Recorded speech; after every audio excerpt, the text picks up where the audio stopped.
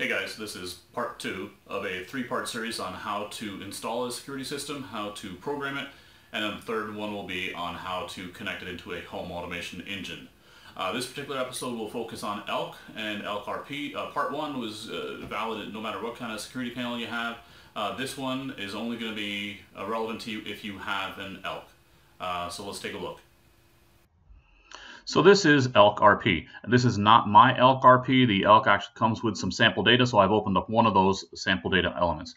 Uh, here's the screen layout. Uh, main menu is on the left-hand side. Obviously, these standard uh, things up here. And you can do all this work offline and then hit the little connection and go to uh, connection network. And that's where it'll sync up with your actual panel. Uh, account details, for the most part, this is just static information, but you do need to type in your port. Uh, you can have a, an access code, so you can punch that in here. This is how you get into the Ethernet setup.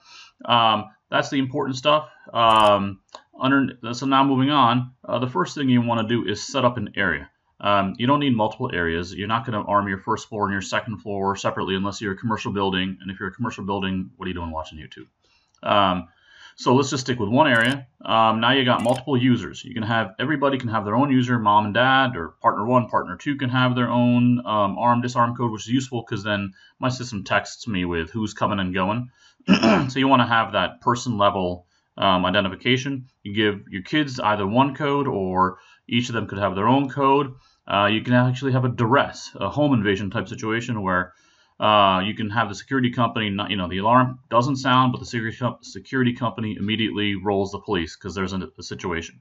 That's pretty nifty. Um, keypads, um, usually one in the front, one in the back, and so you can have um, different settings for each of those. This, however, is the meat of the matter. This is what y'all have been waiting for. Uh, zones, uh, those circuits I have I just walked you through in part one of the video. In the main board, like I said, you can have 16, and so they populated with all this stuff. Um, burglary entry exit means this is where you're going to walk into and out of the house, so don't sound the alarm immediately.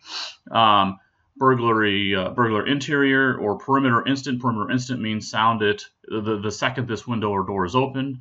Um, you could even have things like um, they have, where is it here? A burglar interior follower. So things like a motion detector that's pointed at your front door, uh, you could set it up as a follower zone. And that way it knows, hey, look, if you disarm, you know, if you open the front door, well, that's the entry exit. And then the follower means um, that'll, if uh, that gets tripped before the alarm is disabled, don't trip the alarm yet. Um, otherwise, uh, you're going to want to trip the alarm. Um, you, and this is where you're going to set up a variety of different options. Is it a normally open, normally closed, the end of line stuff? Uh, voice, uh, what do you want to have the security panel announce uh, upon violation? Chime, every time uh, some security systems you may have noticed, if you open or close a window, the thing chimes. You don't have to have that on every single door window. You can uh, set that up for some of them. Uh, maybe you want to let this zone be bypassable. So you want to have a window because it's hot at night and you want to leave that window open. Uh, so you want to be able to bypass that window, but your front door shouldn't be able to get bypassed because you shouldn't be leaving your front door open or whatever you want to do. So this is where you define all your zones. Um, if you take a look underneath the definition, there's a ton of different definitions in here. Um, you have fire, you can have non-alarm. Uh, so let's say you want to put a sensor on your driveway gate. Uh, so like I do, it texts me if the driveway gate has been opened or closed on uh, when the system is in armed state or armed away mode. So that's where you could set these things up. Um, and there's a bunch of other different options. Uh, I can't go through them all in this video, but this is really just to give you an example anyhow. Um, so that's the hardwired. If you have multiple expanders, you'll uh, see the additional expanders in here. If you have anything set up, um, it'll be set up as, as wireless in there. Okay, so that's the zones in a turbo amount of time. Um, once you have these zones set up, um, you're going to want to, you can do some pretty cool things. I'm sorry, let's go to telephones. Telephones, who are you going to call um, other than Ghostbusters to uh, report a, a, an alarm situation? So this is where you set that up and you have account numbers. You're going to get the phone number from, you know, Next Alarm. You punch their number into here. Um, you got a bunch of different codes that you're going to want to type in. This is information you'd get from Next Alarm. I'm not going to go through that here because it's, it's pretty complicated.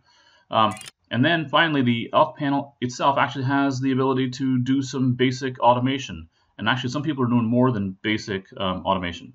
So you can have uh, rules is is the key thing. There's a bunch of different sections here. I'm not. I don't. I, think it's going to be too detailed to get into that in in this video. This is really just meant to give you a high level.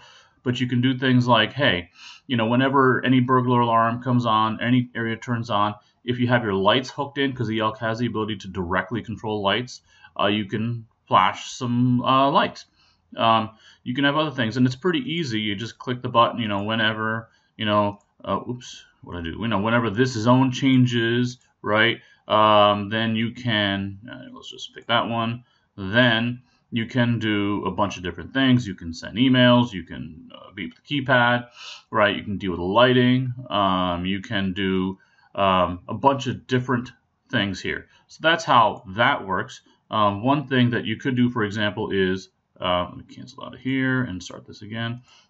Um, you could say, look, whenever it's a certain time, whenever or you know at sunset, turn the chime off, or at 8 p.m. Uh, turn the chime off because your kids are sleeping.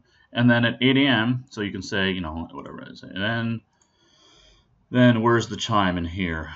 Uh, chime is here somewhere. Oh gosh, where'd it go? Um, it's here somewhere. Trust me. Um, oh, yeah, enable disable chime. Then you can set chime off, you can set chime on. That's obviously a nit little thing. You can do some pretty complicated um, rules just within the uh, ELK RP. Uh, you will see it is all text based. It's uh, it's not really that much of a GUI, so you get more than 8, 10, 15. Um, this list is going to get pretty long. Um, this is where what I personally chose to do is put a home automation engine sitting on top of that and I have, I would say, 99% of my rules um, in the home automation engine and not in Elk. I got a couple things in the Elk. Um, you could do things also if you have um, outputs uh, or like relays, so you could turn outputs on and off. So this guy's got a yard sprinkler, right? Um, all this stuff is on your panel, which means no computers needed. You don't even need Linux, right? This is all sitting within the Elk panel. Um, once you get all this stuff set up, then you just press this connection, you know, connection to the network. I'm not going to click it because it ain't going to work because I didn't put in my real IP address.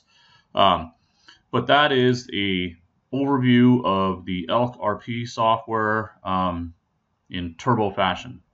If you have any questions, um, feel free to put, uh, ping in the comments or in the um, uh, forum link that I'll have on there. Uh, if not, uh, let's go on then to part three, which is how would you layer a home automation engine on top of that. Um, if you're not interested in that, thanks for watching.